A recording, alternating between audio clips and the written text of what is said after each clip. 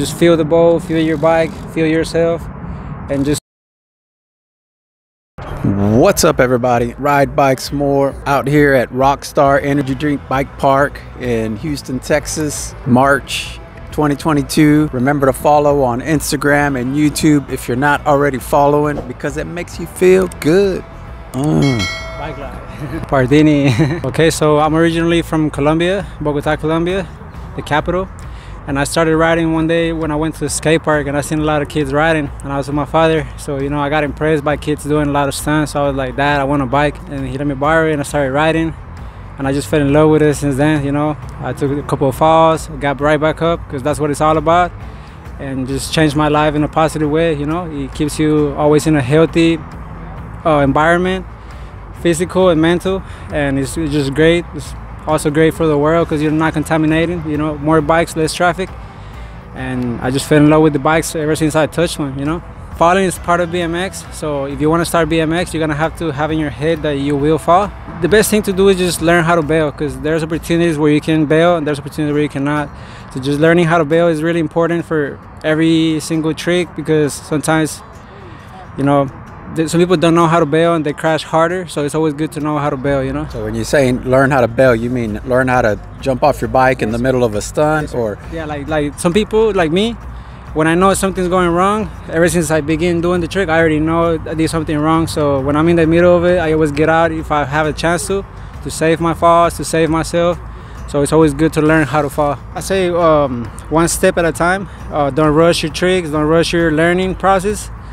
Always take patience, watch, learn. You know, process the, the things in your head first. Get it, you know, get your mental side ready for a trick, and then try it.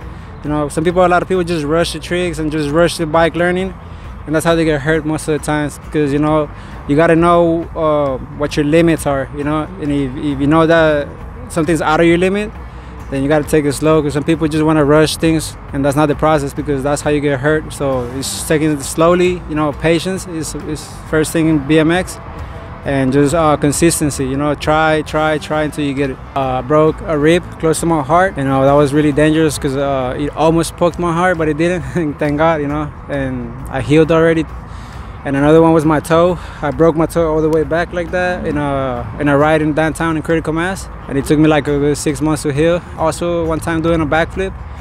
I did the first backflip and I, I landed a little bit good, so I thought I could do it again. And then when I tried the second one, the bike fell off like it came out my feet. I landed on my back and I almost, I, I went like a launcher, like my whole body just twisted like that. Yeah. we have helmets at ridebikesmore.com, or you can buy one of these in black or white. So check those out. But even if you don't buy one there, make sure you get some kind of head protection. I definitely recommend that.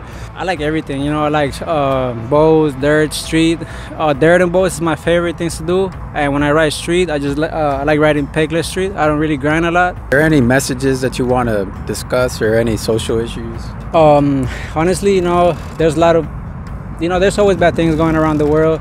So, you know, I pray a lot for everyone that's suffering. You know, God's always gonna do something about every situation. You know, God has a plan for everyone, and you know, um, I say to all the kids and the, and the young ones to get on the bike life because it would keep you in a positive lifestyle, healthy lifestyle, and it's just great for your life. Honestly, you're gonna fall, but you're gonna learn how to get back up. Any shout outs you want to give? Much love to everybody that supports me.